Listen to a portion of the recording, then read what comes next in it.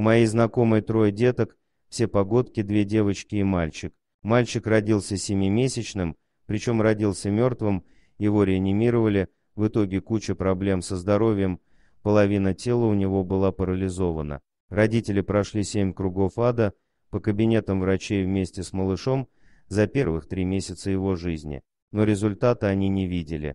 Потом одна врач-невропатолог сказала им завести собаку, чау-чау или лабрадора. Знакомая пыталась возразить, мол, трое карапузов, один из них больной, куда еще и собаку. Но доктор сказала, что это не совет, а приказ. Купили чау-чау, девочку три месяца. У старших девочек счастье было по уши, но собака не обращала на них внимания, а подползала к мальчику и грызла его. Родители в шоке, но странно, что грызла собака только парализованный бок, решили не запрещать это. К ним ходила массажистка, она стала упрекать родителей в том, что нельзя ребенку делать два массажа сразу, а когда узнала, кто ему делает массаж, отказалась ходить к ним. Сказала, что она не сможет сравниться с собакой.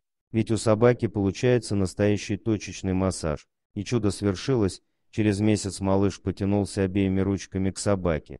Позже собака начала ворочать малыша, как своего щенка обхаживала его. Сейчас мальчику больше года, и он прекрасно двигается и ходит, а врачи в шоке. Дорогие друзья, если вам понравилось видео, поставьте лайк, а также подписывайтесь на канал, где найдете еще много интересного.